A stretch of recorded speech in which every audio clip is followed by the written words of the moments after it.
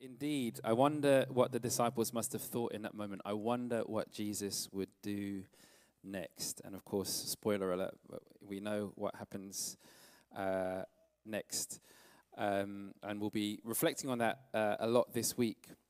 We saw from the road sign earlier uh, that pictures can have meanings that go beyond what you see.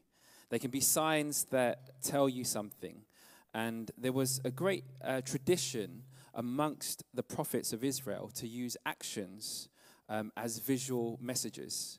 So um, when the words didn't work, they would put their message in a picture or an action that no one could fail to see. So, for example, um, in 1 Kings um, 11 30 31, we don't have it up, but there's this prophet um, Ahijah who wanted to explain to Jeroboam that God was going to give Jeroboam 10 of the 12 tribes of Israel. So he wanted to explain to Jeroboam he was going to give him 10 of the 12 tribes of Israel. And how did he do this? Well, he took his new cloak. I don't know how many of us would do that. He took off his new cloak and he tore it into 12 pieces. Um, and then he gave Jeroboam 10 of those pieces. It was a visual picture of what God was going to do. And so when Jesus rode into Jerusalem on a donkey, um, and I wonder if we can get that picture up again, he used uh, the same principle. You see, his entry on a colt was a picture that all of Jerusalem would have seen deep meaning in. Firstly, Jesus' action was a clear claim to be king.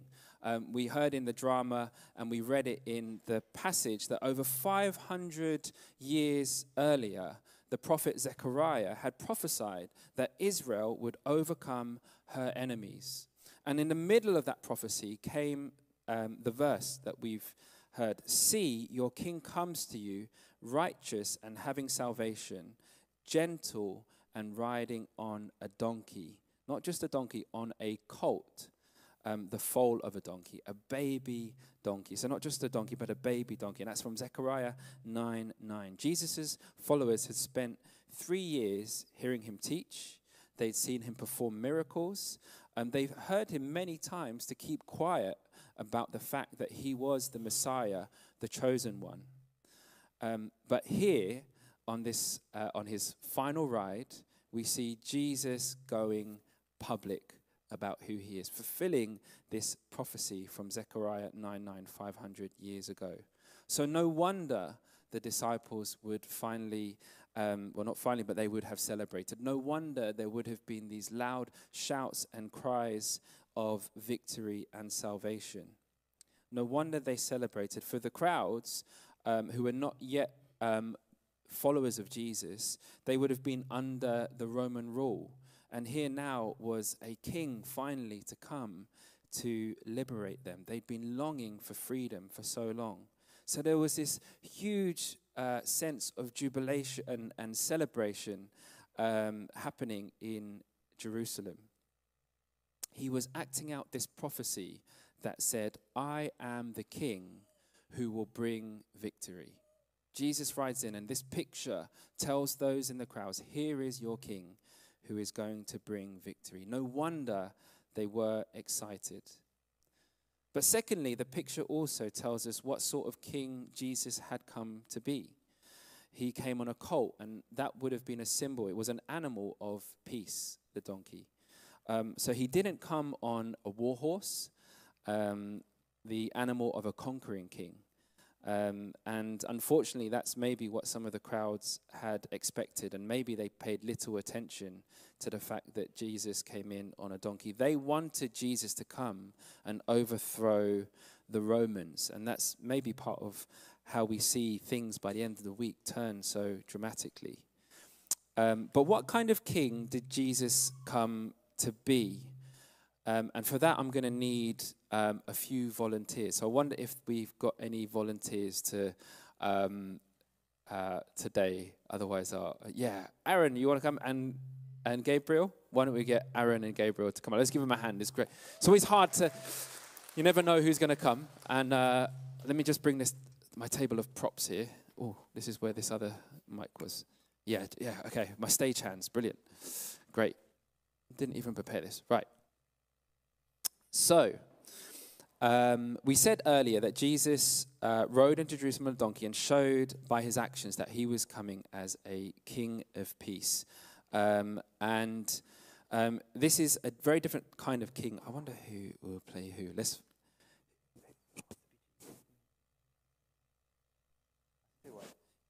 The crown is only going to fit your head, I think. So you be the you be our king. So most kings have uh, riches and palaces. When we think of kings, sometimes you be my, my king on this side, yeah.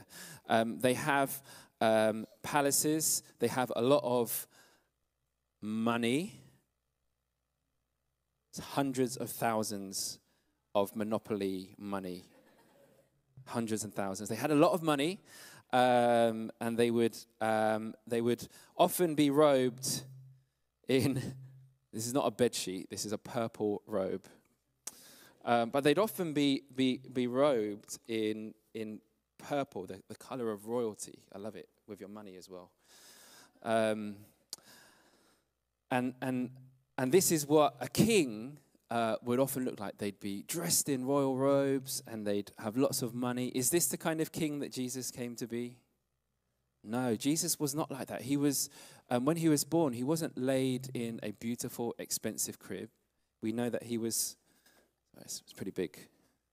We know that he was, um, there was no, uh, it tells us he was um, wrapped in cloths and placed in a manger because there was no guest room available for him. We know that even from the beginning, Jesus came humbly into this world. And as an adult, Jesus said to his disciples, Foxes have dens and birds have nests, but the Son of Man has no place to lay his head. Jesus didn't sit in a fancy palace. Jesus gave up his riches.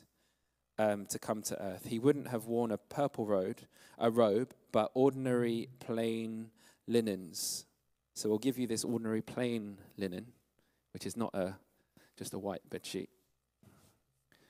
Yeah. Make sure you can just get your hands out, that's all. Yeah. Right. Great. Now, another thing that we think of kings is um, power and servants. So I've just had a look at what I have either side of me so I can see what you guys see. You've got to use your imagination a little bit. Most kings have power over others. They tell people what to do. They have servants. So let's get a couple of servants for you. Do you want to pick a couple of? You, do you want to pick some servants, or we? Okay, we've got a couple of servants here. Okay, let's, a couple of servants will come out, um, and I want you to kneel before this king. Okay. Now, now you, you wish you hadn't you hadn't volunteered. You kneel before this king. Brilliant. Was Jesus like this as a king? No, he wasn't. You see, when a couple of disciples started arguing who was the most important, Jesus said to them, The Son of Man did not come to be served, but to serve and to give his life as a ransom for many. Jesus came to serve, and one of the things that he did for his disciples, and we'll, I think we'll think about, maybe we'll think about some of that this week, um, would he would have a bowl. I didn't put water in it, just we've got electrical equipment and whatnot. Um, but he would wash the feet of his disciples. He would humble himself at the feet of his friends. And before they ate at the Passover meal, the final meal together, he would wash their uh, very dirty and very smelly feet. Um, and so that was the kind of king that Jesus had come to be. Another thing, maybe when we think about kings, is having a crown. You wore this before. You can put this on. I know you like this one. Wear it. And a throne. Could we get a throne? Um, so we're going to give um, Gabby a, a, a, a, crown and a throne and a servant. Does this feel good? Yeah? Take a seat on your throne. Take a seat on your throne with all your money and your servants and your throne. Wow. What a Sunday. What a Sunday. This is where kings normally rule from their kingdoms, right? On a throne with their crown and their money. And was Jesus like this? He wasn't. Um, the only crown that Jesus wore, and I didn't make one for the sake of safety, um, was a crown of thorns, which would be placed on his head by the soldiers before he was crucified. Um, um, and he didn't rule from a, if you could grab that for me, um, the cross. Um, I'm very thankful that the school did a, a, a drama with this cross, which we can borrow. Yeah, just, yeah. he carried his cross, of course. Um, but Jesus didn't rule from a throne, but he was enthroned on a cross. Um, and that's when God, um, well, that's where Jesus was um, crucified, um, but in doing so was also lifted up by our God. Crown of thorns and a cross. So Jesus is a very different king, isn't he? He didn't have a palace and riches. He didn't expect people to serve him, but he served them. He didn't wear a crown um, or rule his kingdom from a throne, um, but he wore a crown of thorns as he gave up his life on the cross. You see, Jesus didn't come as a warrior king to set people free from the oppressive Romans. He came as the king of peace to set people free from their chains of sin and to bring them peace with God the Father, which he did when he willingly laid down his life on the cross. And then, of course, we'll think about this week that he rose three days later. He didn't come as an aggressive and dominating king to rule over a country by force, but he came as the king of love to rule over people's hearts. The crowds in Jerusalem misunderstood what kind of king Jesus was and what he had come to do for them. And that's just why a few days later they were calling for his crucifixion. Is it hard just being on your knees as a servant? do we understand what kind of king Jesus is and what he has done for us? You see, Jesus didn't come simply for the Jews then, he came for everyone, right? We know that for God so loved the world, uh, the world, he loved everyone. What a wonderful king. When he died on the cross, Jesus made it possible for each one of us to be set free from our chains of sin and to know peace with God the Father. What a wonderful king. Well done, volunteers. You've, you guys have done fantastic. You guys have done fantastic. You can keep the money for now, but I'll need it back at the end. Otherwise, we'll be short a few thousand pounds at Christmas. Um, thank you. Maybe just lay that against there. Just be, yeah, thank you. Now, I just give us an opportunity um, to respond, and we can respond thinking about actually some of what happened with the crowd um, we're just going to spend, uh, well, just for a couple of um, minutes, I just want you to take a few moments um, because as Jesus came in, there was this sense of praise, there was this sense of um, victory, um, and of course, in our lives, and it may just be victory over um, sin and our own salvation, but I imagine amongst this room there are many stories of um, victories and things um, that just God has done amazing things in your life, that He set you free from um, maybe addictions, maybe He set you free from thoughts, um, maybe you've been um, set free in parts of your character. Um, there's things that Jesus gives us victory over. Maybe you've got testimonies of great things that God has done where opportunities um, came about when you thought there was no way, that somehow God came through for you. And the thing is, we, um, as we think about Hosanna and the sense of um, worship and victory to um, this uh, King that enters in, um, God is is desperate to be involved and entering into different moments in our days um, and different moments in our lives and, and to come in. And as we prayed at the start, come, Lord Jesus, have your way amongst us. Um, and so, um, just where we are, I want us to think about what it might look like for us in praise and worship in our lives to God. It might just be a simple prayer of thanksgiving. It might be on a Sunday morning that when we come, we celebrate with this sense of victory and, ju- uh, and jubilee. It's, it's a, um, a, great celebration when we gather together, um, God's people under one roof to celebrate and worship God. Um, that there's a different sense of um, praise that comes up out of us um, when we think about um, what Jesus has done for us. So let's just take um, a moment. Um, just, well, actually, I, w- I thought we would maybe do this quietly. I just feel maybe we should just do this loudly, actually. So don't we just stand and. Um, yeah, I was just thinking how we sometimes do this. Um, uh, I don't know. How, this is thought has just come to me as well. Is that sometimes in football stadiums, um, they have a, a minute's silence to remember someone, but actually they've got into the habit um, more so to actually have a minute of celebration and um, clap and applause. And um, yeah, just where you are, just think about maybe maybe there's something specific. Maybe it may just be thank you God for saving me, for for dying for me, um, and um, and we're just going to clap, I think, and just maybe make a noise. I think that's probably what happened when Jesus came into Jerusalem. Um, now, for them, it was a different sense of victory that they misunderstood, but actually, Jesus did ultimately win. There was victory in his sacrifice on the cross and him raising from the dead three days later. So let's just lift up um, a clap and um, a, a, cheer and a shout just for like, let's go for like, uh, I'll go, let's go 20 seconds. Yeah? Yeah? All right, we're going to go on a count of three. One, two, three.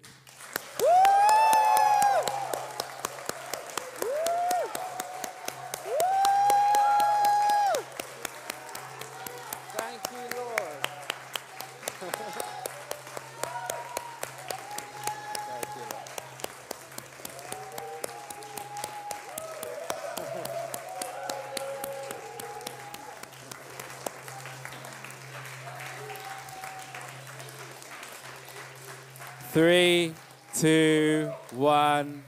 Okay, you can take your seat. Oh, praise God. Thank you so much for.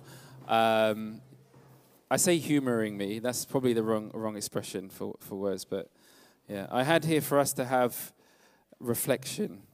but actually, sometimes our reflection can be like that, right? Because actually, uh, that actually that speaks to me a little bit. Actually, our, our life should be a reflection of, of what God has done for us, right? And I think there is joy um, in that. Of course, um, the walk as a Christian is not always easy, but there is a sense of praise. And I think on Palm Sunday, we're reminded um, of the cries of, of victory. And we have actually the victory. Not the ones maybe that um, the people of the time expected, but of course, we are um, ahead of what Jesus went on to do. And so we know the ultimate victory that was won. Hallelujah. Praise God. And may our lives sing um, in word and in deed, in all that we do of what God has done for us. Um, and let's not just contain it to, um, you know, um, songs on a Sunday morning, but may our lives be an expression of our thanksgiving and our praise um, and worship to God. Now, not only did the crowds praise Jesus when he entered Jerusalem um, by waving palms and singing songs of praise, but um, we read also that they also laid down um, their cloaks um, on the uh, dusty street in front of Jesus' donkey. And this was a way of honoring um, Jesus as a king. Um, and so there's this question so, how do we honor Jesus as king today? Um, and one of the most important ways we honor Jesus is by listening to what he says and then obeying him. And um, kings are to be obeyed. They don't uh, obey us, we obey them. So um, I think, as an encouragement for us this morning, is not only to praise Jesus as king in our lives, but also what it might look like for us to obey him when Jesus says, Love your neighbor as yourself, Matthew 22 39, are we willing to obey him? Um, when Jesus um, says, Do not judge, and you will not be judged, thinking about our hypocrisy and um, how we have a, a, a judgmental attitude towards others. Are we willing to obey him? And this can be a hard one when Jesus says, Forgive, and you will be forgiven. Are we willing to obey him? When Jesus says, Give, and it will be given to you, are we willing to obey him? So, what might it look like? What might King Jesus be speaking in your life today about what it means to obey him? Um, so, this kind of second part of response is um, about surrender um, and is to give us an opportunity to surrender our lives um, to Jesus, to lay down our cloaks on the road in front of Jesus, to honor him with our lives. Um, so I'm just going to pray, and um, this morning, however you want to respond, um, you, um, well, just pray as I pray. you um, yeah, you might just want to take a posture in your heart of um, kneeling. You feel free to kneel where you are as well. Um, but yeah, let's just honor God um, as we surrender our lives to Him.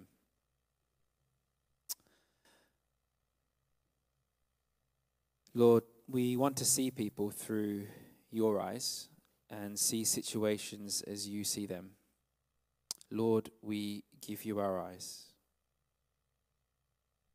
Lord, we want to hear your voice speaking to us and hear the needs of people around us.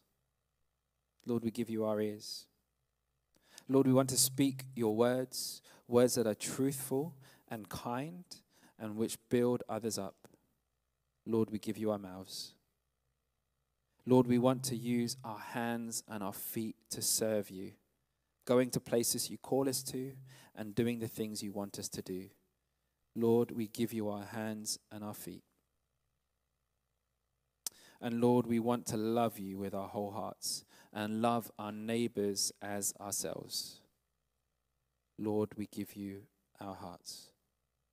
Lord, we want to obey you, so we offer you all that we are and all that we have.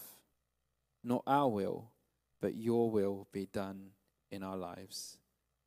And Lord, we give you our lives. Amen.